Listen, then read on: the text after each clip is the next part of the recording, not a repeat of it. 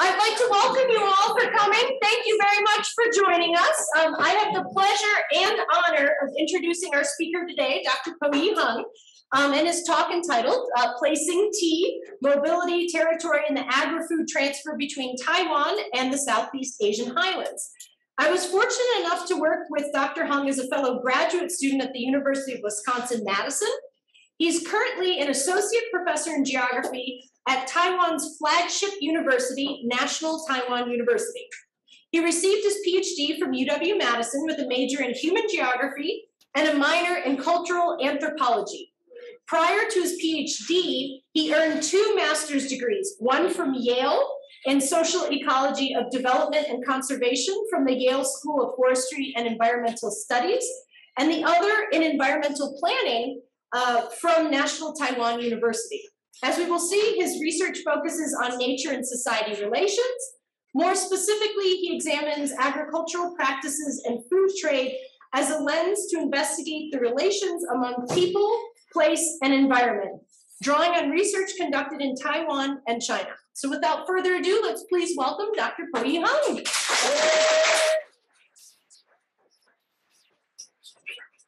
Thank you very much. Uh, thank you, Kara, for this wonderful uh, introduction about me. And yes, I'm Po-Yi Hung, uh, associate professor uh, from the geography at National Taiwan University. So I came all the way from Taiwan. it's a great honor to be here uh, to tell you the tea story of, of Taiwan. So um, at the same time, actually, I, I, I am also appointed as uh, uh, Luce East Asia Fellow at the National Humanities Centers at um, you know Durham. So that's that's the reason I can come here to share my stories. And it's an ongoing book project, and I'm also happy to announce that I have just uh, signed an advanced book contract hey! with uh, University of Washington Press. So hopefully, this talk and this book will be released and be accessible to you guys in one or two years. Okay. Okay, so uh, this is the outline of my presentation. I will first give a short introduction about the tea species in Taiwan. Then I will give an overview of my book with the book chapter outlines. Then, since it is not possible for me to address the whole book, I will mainly tell the story about the tea movement from Taiwan to North uh, Thai borderlands and to Vietnam. And last, I will end with the conclusion. So um, I'm sorry, it's, it, it's in Chinese, but basically there are two major species of tea in Taiwan. One is called Camellia formosensis, uh, which is the original species growing in Taiwan as um, shown in the left-hand side of the picture. The other as the major species for tea production worldwide today is called Camellia sinensis. Okay. However, in Taiwan, the main variety of the Camellia sinensis is the small leaf variety. So in Chinese, we call it Xiaoye zhong, as shown uh, on the right-hand side in the picture. So the small leaf variety of tea is different from the large leaf variety. So the large, large leaf variety you can see in India Sri Lanka. Okay, so uh, as the map shows here, the small leaf variety of tea originally came to Taiwan from Fujian province of China during the Qing Empire, and then migrated to Southeast Asian highlands, including Yunnan in southwest China and North Thai borderlands and Vietnam, mainly since um, the Cold War era. Today, tea produced in Southeast Asian highlands also go back to Taiwan to support the tea industry in Taiwan. So in accordance, the storyline of my book is to follow the migration of the small leaf variety of tea to see how tea has been placed to and from Taiwan.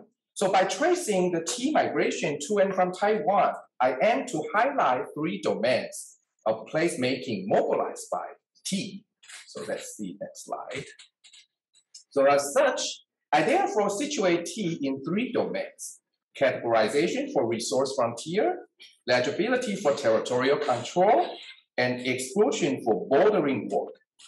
For categorization, I argue that tea has initiated a frontier dynamic to reconfigure the social relations within ethnic minorities and to reorder the ethnic relations between Chinese Han and ethnic minorities groups in Southwest China. I take the value production of pu'er tea specifically from Taiwan to Yunnan as the empirical data to address it. Second, as for legibility, I argue tea has been a political force for the Thai government to secure its northern borderlands, for securing and realizing its state sovereignty. I use the Wulong tea transfer from Taiwan to North Thai borderlands as the case study to convey the story. And last, I reconsider the power of exclusion through the localization of agro-food production and consumption with the politic of bordering.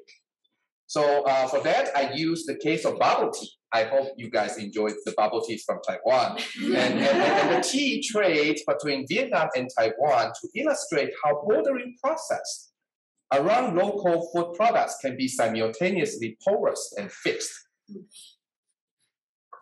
So I have conducted field research in Yunnan, Southwest China, Thailand, Vietnam, and Taiwan since 2007 with uh, multiple research projects. Based on the data regarding the interactions among ecological changes, market force, state intervention, and farmers, I intend to understand how tea as a non-human actor has mobilized the interface among frontier territory, border, and mobility. So actually for pu'er tea at Yunnan, Southwest China, I have published a book already, the tea production, land use politics, and ethnic minorities, struggling over dilemmas in China's Southwest frontier. So in this book, I argue that Taiwan has reforged the market value of pu'er tea then the pu'er tea industry has reconfigured both the spatial and social relations in China's southwest frontier through the dilemmas between tradition and modernity, between primitive nature and civilized culture. So actually today, my current book project is mainly about, you know, cases in Thailand and Vietnam. Based on what just mentioned, I come up with a tentative book uh, chapter outline um, so I cannot tell the whole book. So I would like to address the story about the tea migration from Taiwan to North Thai borderlands and to Vietnam, mainly with the two chapters highlights here. Okay, for the Thailand part, it will be chapter one, Taming the Borderlands. And for the Vietnam part, I will focus on the chapter six, the dilemmas of bordering authenticity. So first, let's go to the Northern Thai Thailand chapter. Maybe for many people here, including you and me, the first impression of the so-called, you know, golden triangle is the opium production and the landscape of poppy seed plantation with the beautiful poppy uh, flowers, just like the picture shows here. Indeed, the Golden Triangle, the border area crossing Thailand, Myanmar, and Laos, is still one of the major places of opium production today. But the production center is now in Myanmar, not in northern Thailand. So if the poppy seed plantation has mostly disappeared in northern Thailand, what does the landscape look like today at North, North Thai borderlands? Let's see next slide. Okay, so this is what the border landscape looks like at northern Thailand today. Most of the land use is for cash crop plantation other than opium plantations. So including tea, coffee, tropical and subtropical fruits like lychee, plums, peaches, and so on. As the picture shows, you can see so many terrace tea plantations at North Thai border area. Interestingly, many of the cash crop plant planters or business runners there are Chinese diaspora, or more specifically, the Yunnanese Chinese. So why is that? Let's go to next slide. So things have to go back to the time during the Chinese Civil War between the nationalists or Kuomintang in Chinese or KMT in the abbreviated version KMT. Okay, so the civil war between KMT and the communists after the year of 1949 when the nationalists or KMT were defeated by the communists, a group of the KMT soldiers, most of them were Yunnanese, retreated from Yunnan to Myanmar and then to North Thai border area.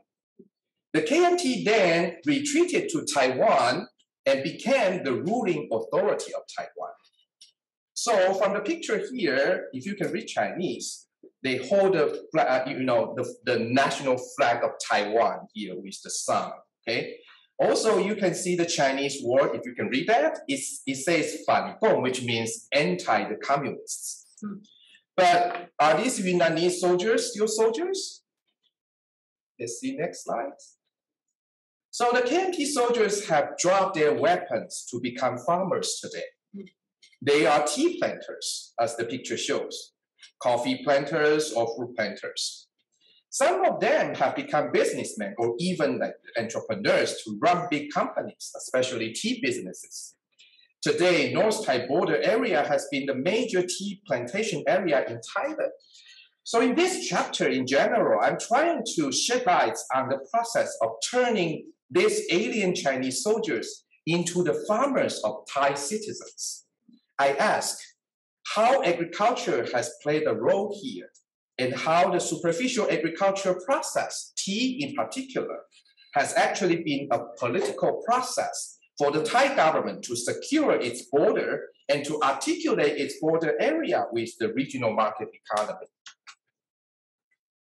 So of course, I use tea as the epitome to illustrate this process. So this map shows the villages of the Yunnanese Chinese and North Thai borderlands. You can see most of the villages represented by the black dots are located along the border or near the border. Um, my field research is mainly at three sites you can see from the map, map here. So number one is called Prai, two is Mae Salong, and three is Wawi. These three sites are all the major tea plantation sites in northern Thailand today, and they are all located at the province of Chiang Rai. So in fact, most of the agriculture you see in northern Thailand, including tea, has been transferred from Taiwan. Of course, it was a political process behind the agricultural transfer, which I will address more later. Taking tea as an epitome to tell the story here, I am to argue that tea has been an agent to transform the so-called murky border landscape into the legible territory, uh, as in political scientist James Scott's term. So take a look at the picture here. You can see the juxtaposition of three kinds of landscape here. One is the forest, right? And then the slash and burn land use in the middle, and last, at the bottom, you can see the, the, the tea plantations. So before the agricultural transfer from Taiwan, most of the landscape you may see could be forest and the slash and burn landscape, which have no specific property rights and locations. Tea is different. Tea plantation have legal ownership and specific area and location. So two parts to talk about the tea. First, tea as a transplanted crop from Taiwan has been a key element for the Thai government to enhance its political control over the borderlands. And second, tea as a cash crop has been a key role to connect the North Thai borderlands with the changing market economy. So why is that? For tea as a transplanted crop, I argue that it has played an important role to turn the borderlands from the disorder of battlefield to the order of tea mountains. Before the tea, or the other agriculture in general, transferred from Taiwan to North uh, Thai borderlands. You know, the North Thai borderlands have been a battlefield which is not thoroughly controlled by the Thai government. Two main reasons for that. One is the black market of opium production, and two, especially during the Cold War era, is the spread of the armed communists at North Thai borderlands. So the Chinese diaspora of the KMT soldiers were deeply involved with both. As mentioned, these Yunnanese soldiers had close relations with KMT, which retreated to Taiwan as the ruling authority after the Chinese Civil War. Thai government somehow requested the government of Taiwan to deal with these soldiers. In addition, the KMT government in Taiwan and Thailand actually broke their diplomatic relation in 1975. So Taiwan then used the transfer of agriculture as a way to keep the connection with Thailand. Therefore, Taiwan has act actively participated in the so-called Thai Royal Project, which has helped the Thai government to erase the poppy seed plantation and to replace the opium production with other kind of cash crops. At the same time, starting from 1980s, the Chinese Association for Relief and Ensuing Services based in Taiwan, although its name is Chinese Association, has sent many agricultural specialists to transfer the crops and plantation knowledge specific for the KMT soldiers and their descendants in northern Thailand. So a variety of cash crop, including fruits and tea, have been, of course, transplanted from Taiwan to northern Thailand at that time. So you can see the picture here, okay, the tea plantation. And you know, the uh, Taiwanese tea expert is the one with the white shirt. Uh, you, you, you can see his back. He is now still a professor in National Taiwan University. Yeah, but he re- refused to show his face, so I cannot. okay, so uh, but the, you know, on the other side will be all of the KMT so- soldiers. Okay. So also the construction of roads. Okay, so uh, you you can see here like the um, on the left hand side we can see the construction of Terrace uh, of, the Ter- Terrace tea gardens, the tea plantations. So they had to like clear up all of the forest first to plant the tea. So on the right hand side here, they also needed the, the construction of water tank to ensure the water supply for the tea. They also need the factories, electricity, so on and so forth for producing oolong tea. And in general, it's a kind of a, you know modernization of agriculture at northern Thailand. Also, the construction of the roads was imperative in order to transform more forest lands into terrace tea gardens and to transport both people and tea products in and out.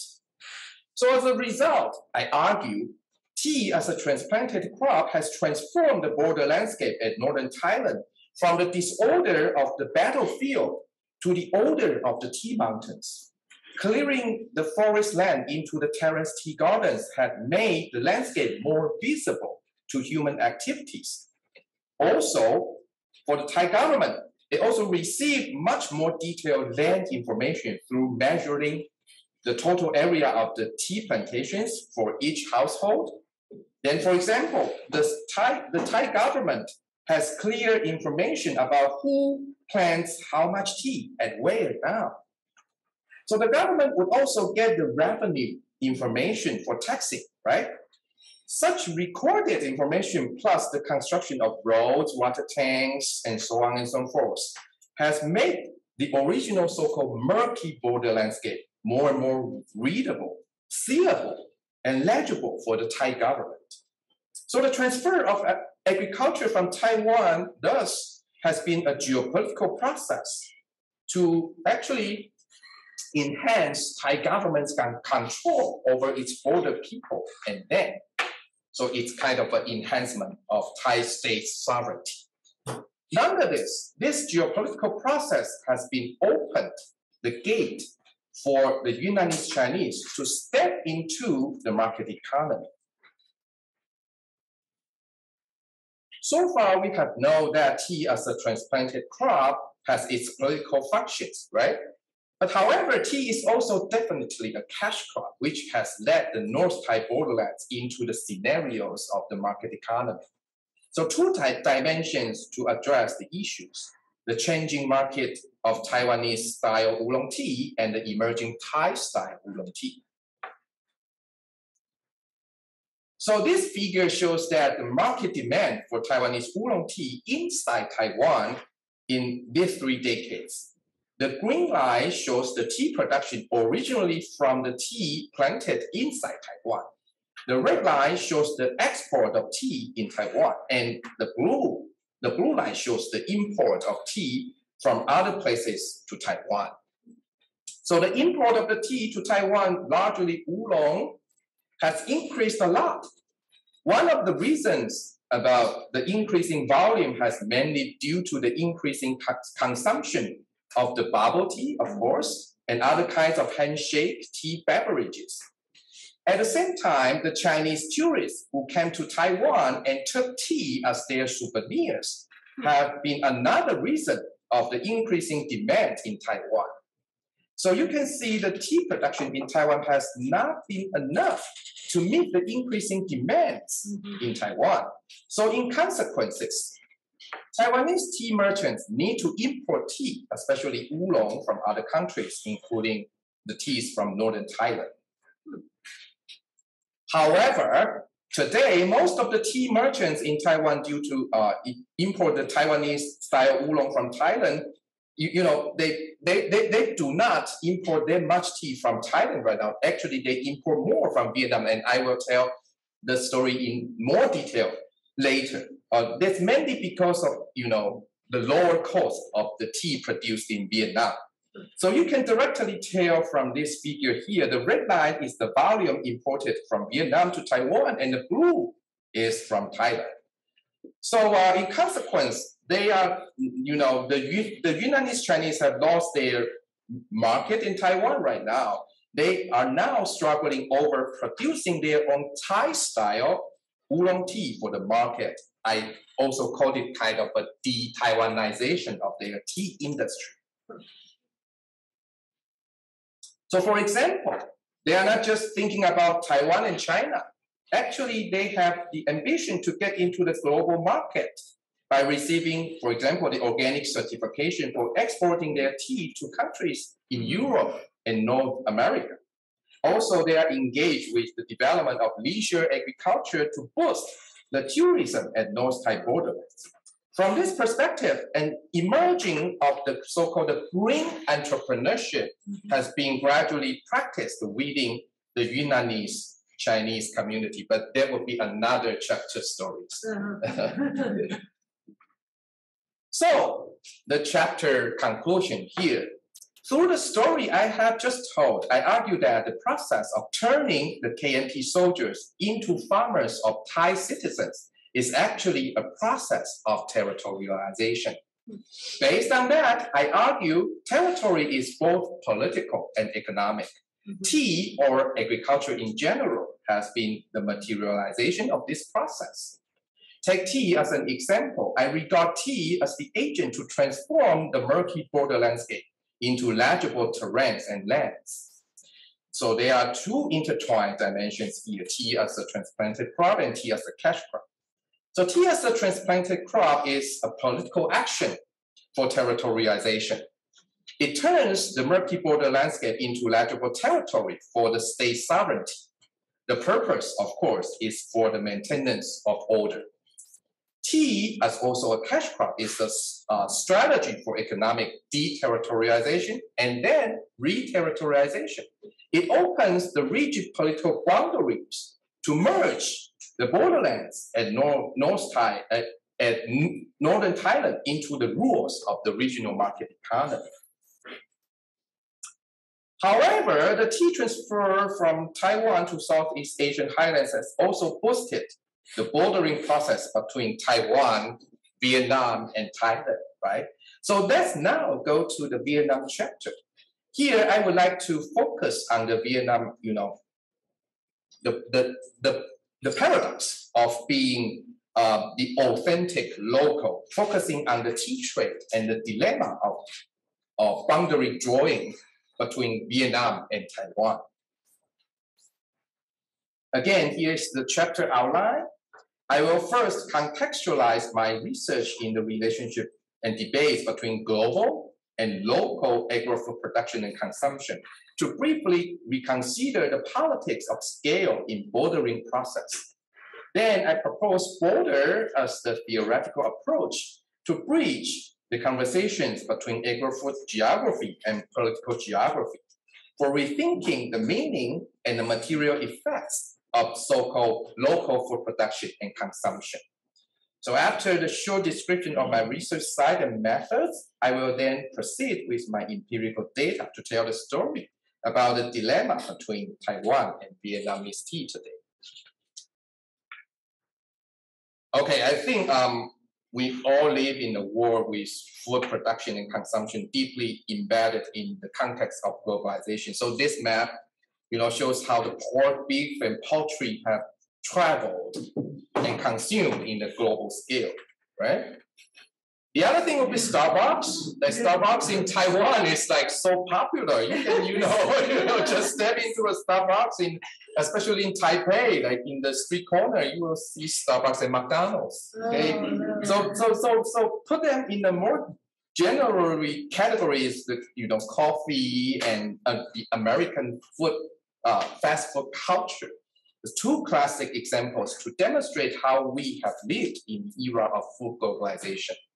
But at the same time, the effects of uh, resulted from food globalization, such as the food safety at consumption side, labor justice in the production side, has made people to be more aware of the negative outcomes of the globalized food system.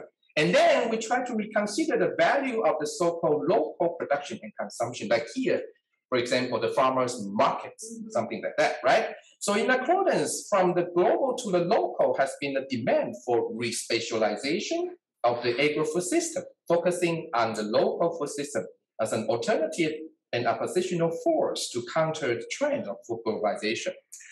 So everything sounds great, right? So what's the problem? Okay. So that's the problem. Okay. So the local, as uh, in current food movement against globalization, has been a common label in the emerging food initiative and aiming to be alternative to the global.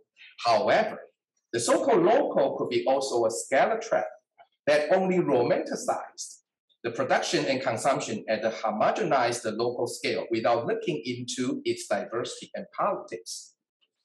So this chapter, therefore, aims to re- reconsider the recon- uh, relocalization of agro-food production and consumption through understanding the politics of border drawing, as well as the scale politics in so-called the local food system, especially in uh, the local tea production in the Taiwanese and Vietnamese context.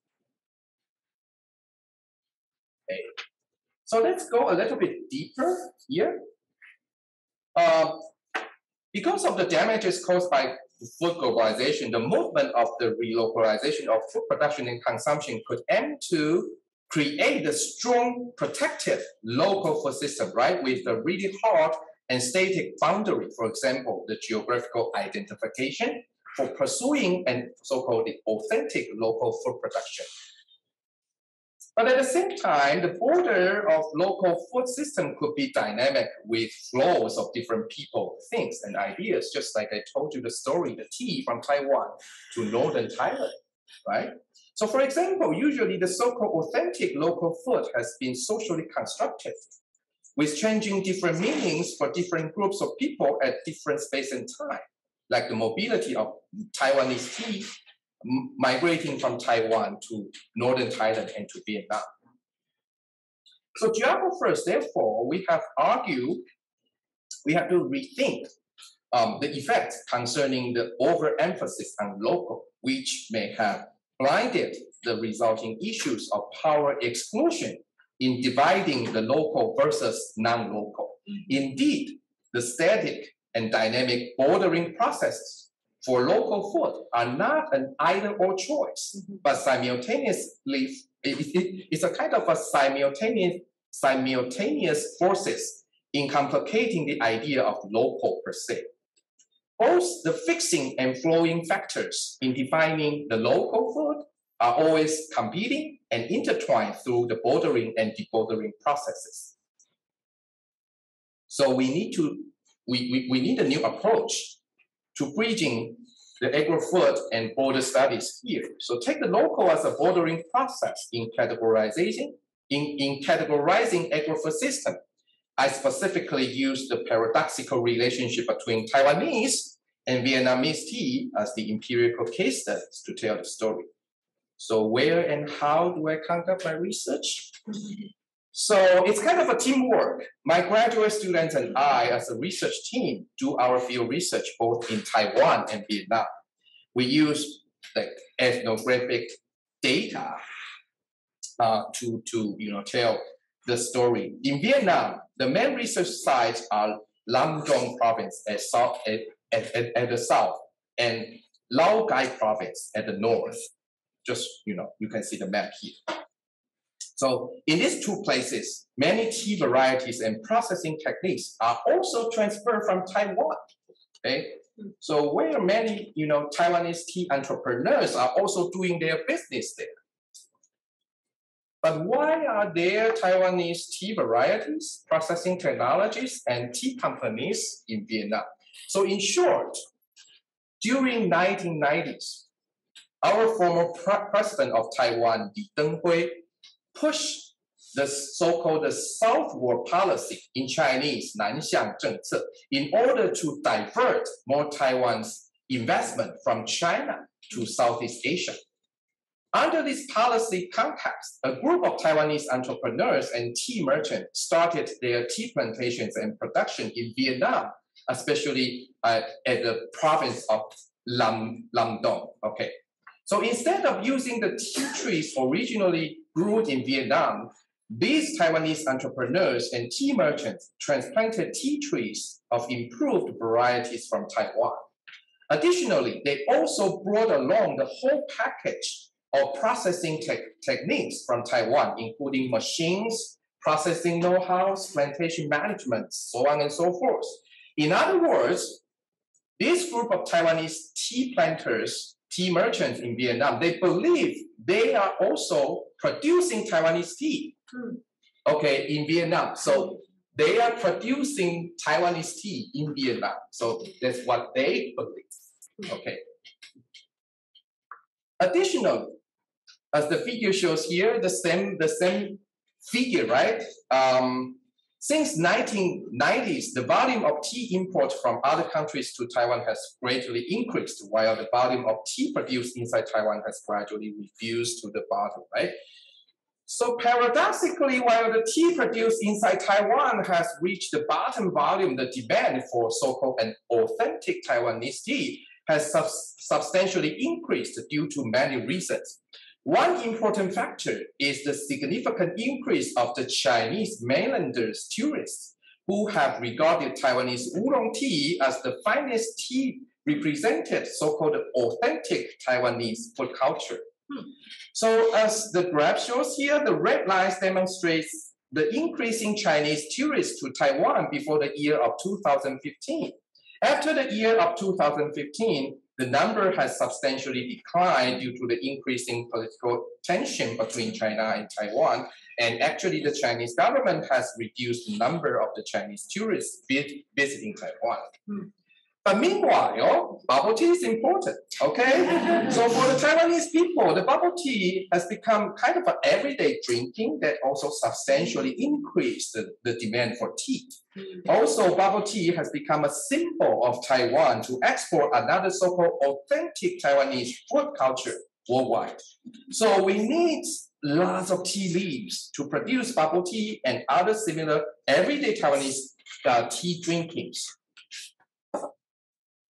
In short, so the decreasing local production and increasing local consumption has made Vietnam tea as a compensation to meet the market demand for the so-called authentic local Taiwanese tea, both oolong tea for the tourism and bubble tea for the everyday drinking.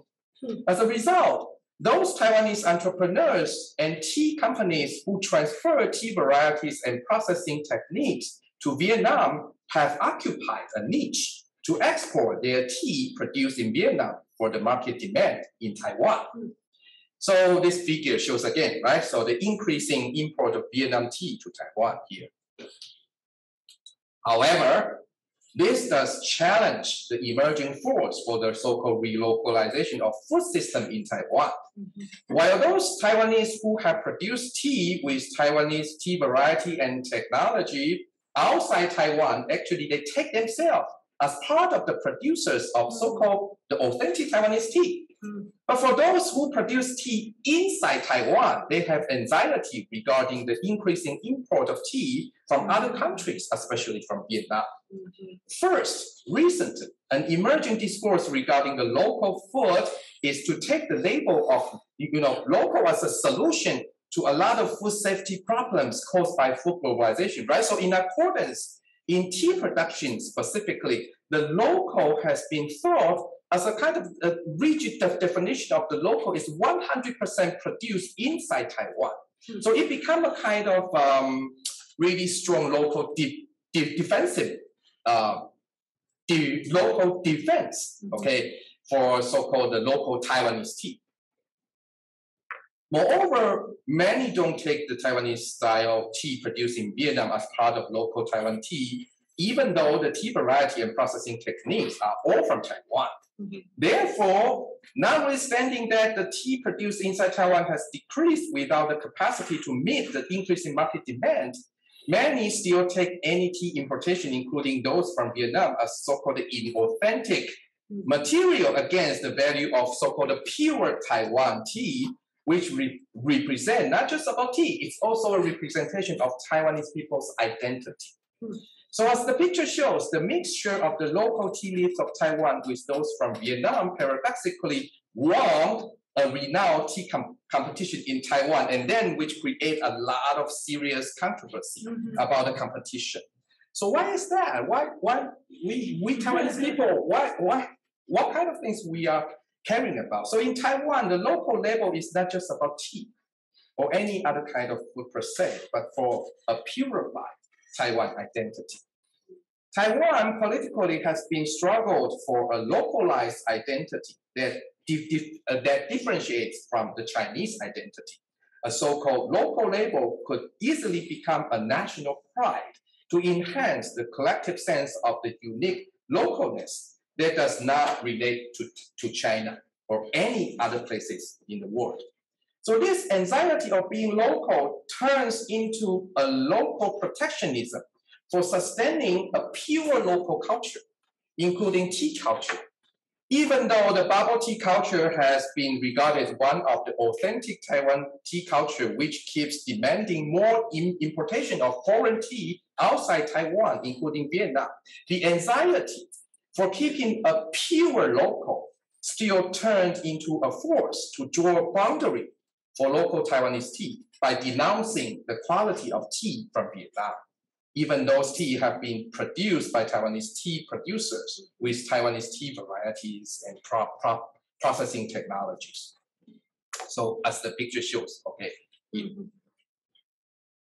All right, so uh, in Taiwan, the local production of tea has declined due to a variety of reasons, like the increasing production costs, aging labors at production areas, so on and so forth. Nevertheless, the market demand of tea has increased mainly because of the increasing consumption of bottled tea, hand, handmade tea drinks of uh, the, the trend stores, the bubble tea, you know, the tea for the touristic souvenirs, the kind of things. As a result, demand for imported tea, mainly from Vietnam, has increased for meeting the growing consumption.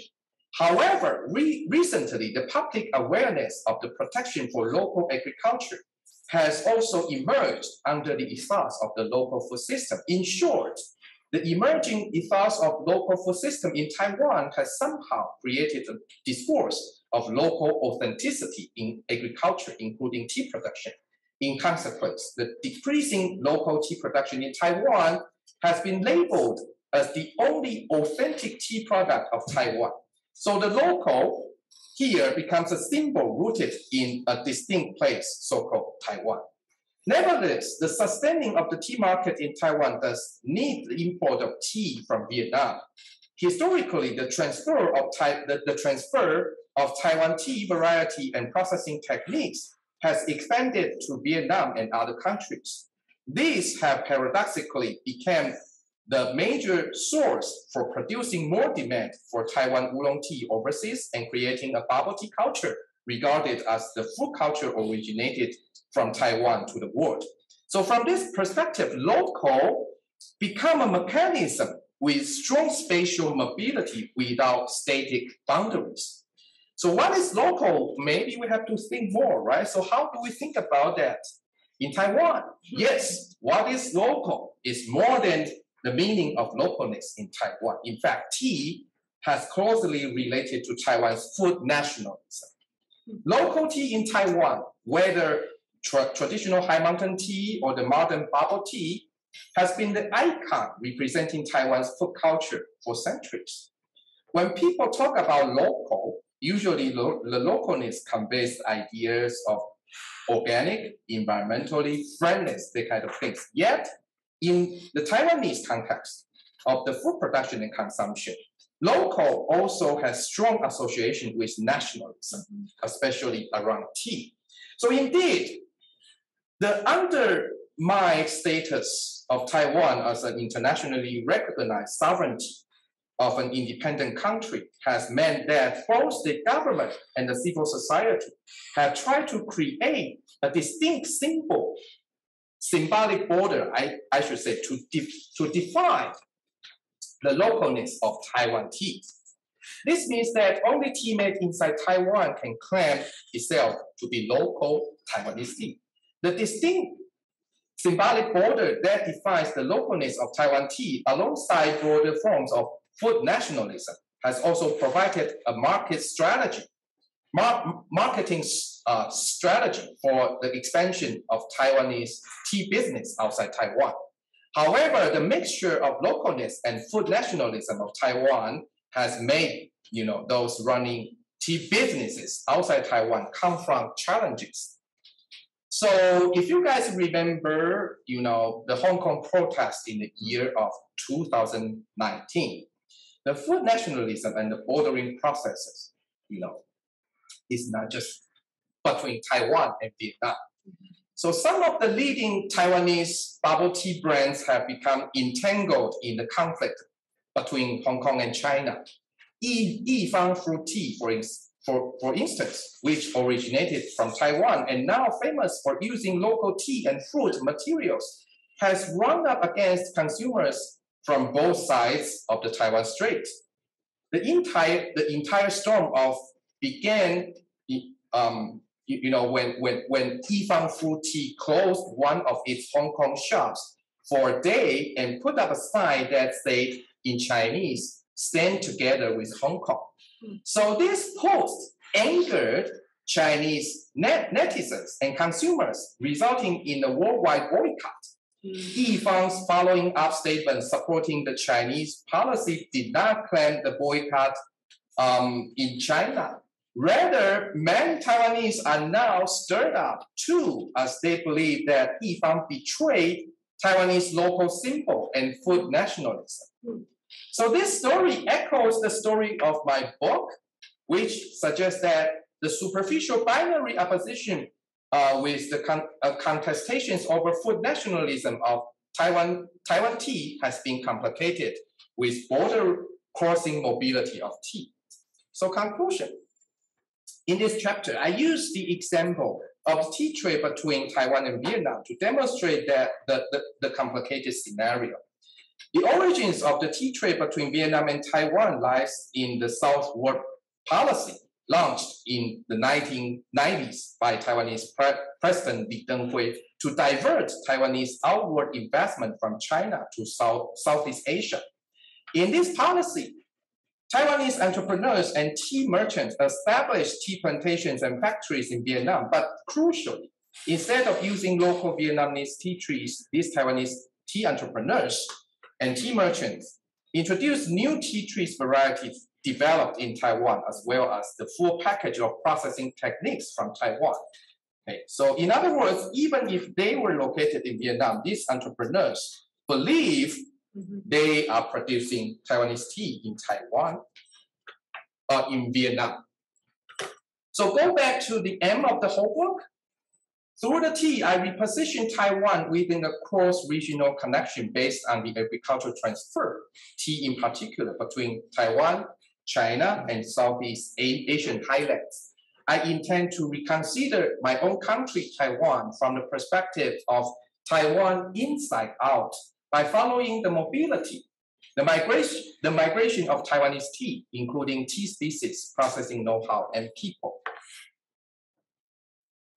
So theoretically, I aim to reconsider the role of tea as a transnational political, economic, and a non-human actor, mm-hmm. and its encounter with people's everyday lives to reconceptualize the kind of uh, frontier dynamics, territorial politics, and bordering process in Asia.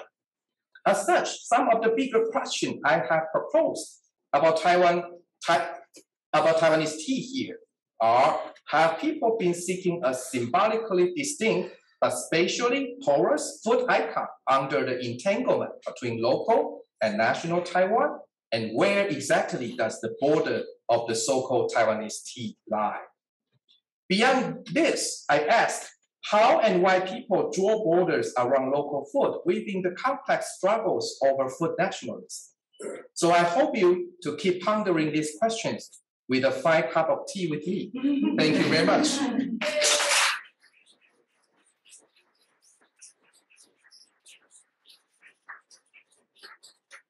Okay, so uh, I want to show off, as a geographer, I want to show off the picture here. I I was standing exactly at the borderline between Thailand and Myanmar. Do you see the you, you know the wire there?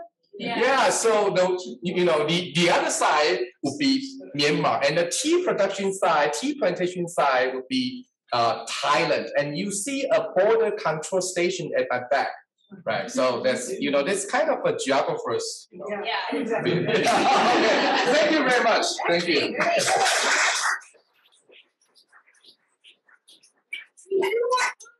questions, so if anyone would like to raise their hand, uh, we have a couple minutes for questions.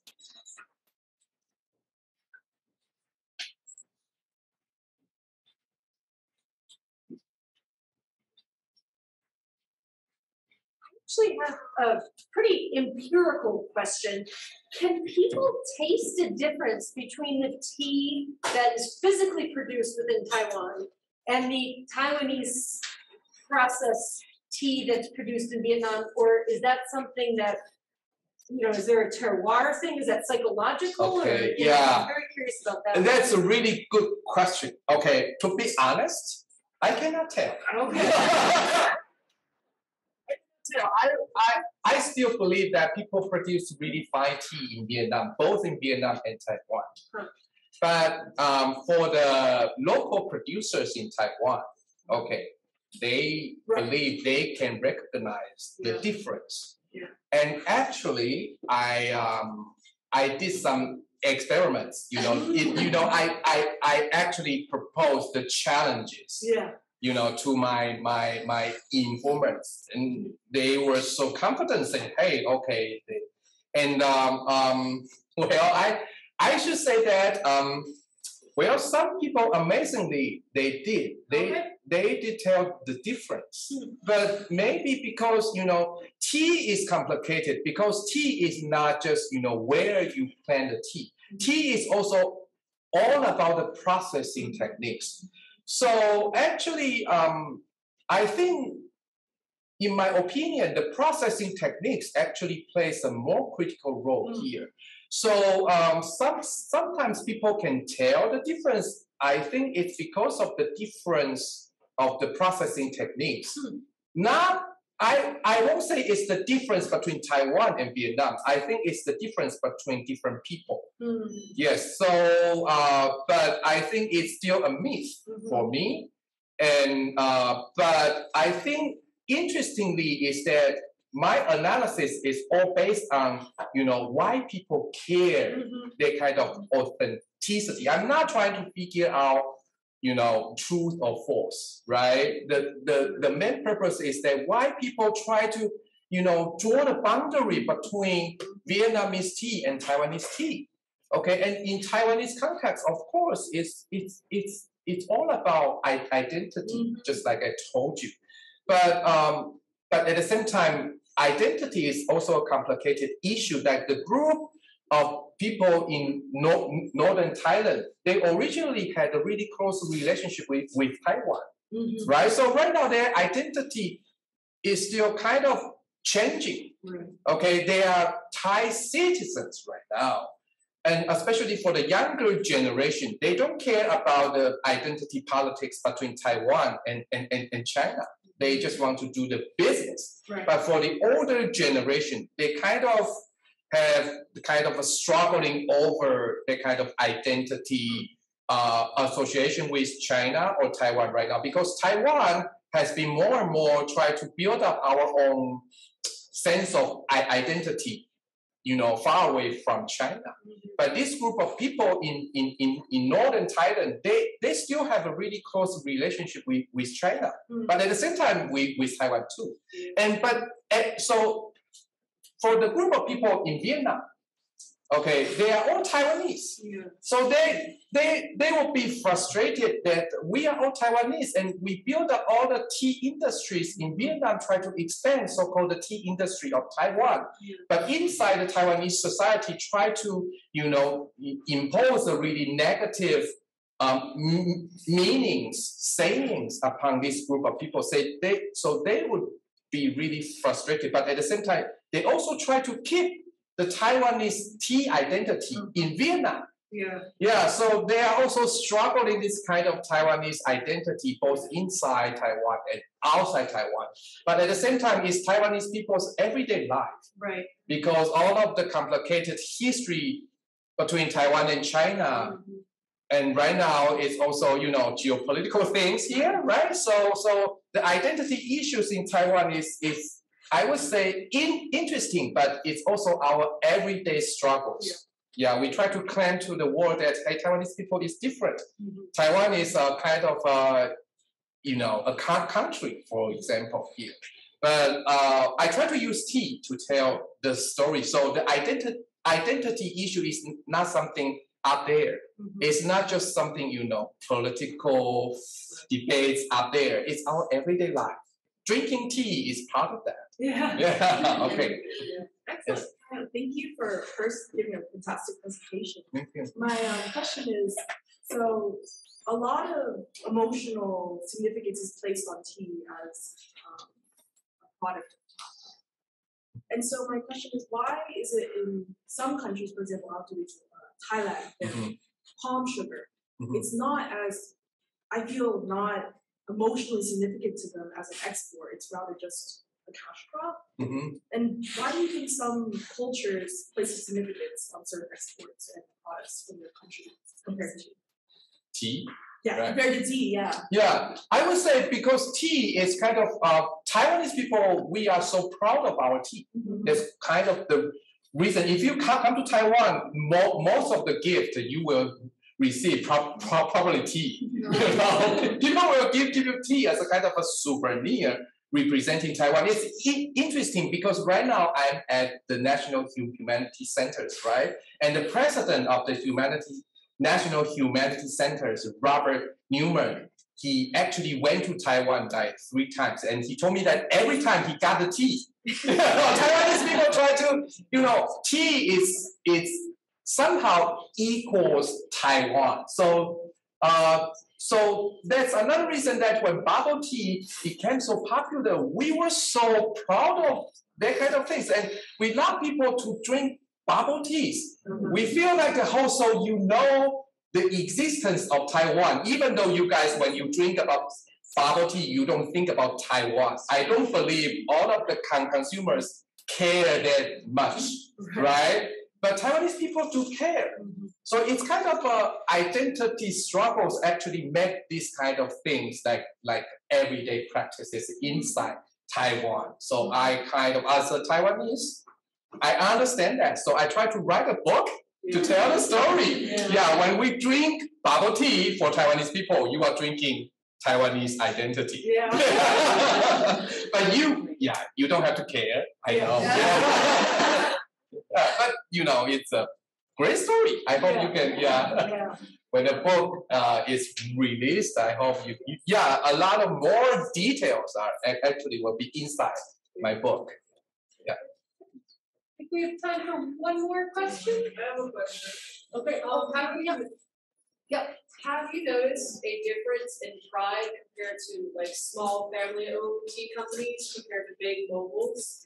and Mhm. how that affects um the local community Mhm. um as they fluctuate between production sites. Yeah, okay, so you, you, you mean in, in Taiwan? Yeah, In Taiwan, okay. So the agriculture system in Taiwan is is mostly the smallholders. We actually in Taiwan, not not like here in the United United States, we don't have that the big agriculture companies. A lot of the tea makers they are small holders. They, they they they create their own tea and uh, sell their own tea. But of course, we got like the bigger companies. Yes, and uh, uh, I would say um, Taiwanese people right now, just like I told you, because of kind of we try to focus on so-called the local production, and we also try to revitalize the household agriculture culture in Taiwan. So actually, we value the the household production of tea more than the tea produced by the big companies. Mm-hmm. Yeah, but bubble tea will be another issue. The household production of oo- oolong tea, we appreciate that. But for the bubble tea, we take it as another scale. We take it as a kind of a global scale. Huh. So actually, our government, including Taiwanese go- government, try to invest, you know, to build up the big co- company to, to make the bubble tea industry is kind of a global industry. So household production of the bubble tea would not do that. We need like the investment, you know, money, you know, to do that kind of thing. So I would say there's no one answer to that. It's still like we have different scenarios between, at least between oolong tea and bubble tea. Yeah. Great, thanks. Okay. And um, if you have any other questions, we can continue them um, in our reception, which will be located in three twenty-seven of the reading room. And we ask the um, faculty from geography and planning to please help move the food from the kitchen to the reading room. So if the faculty would be kind enough to meet us up in the kitchen, we'll meet everybody else in the reading room. So thank you so much for coming. Thank you. Thank you.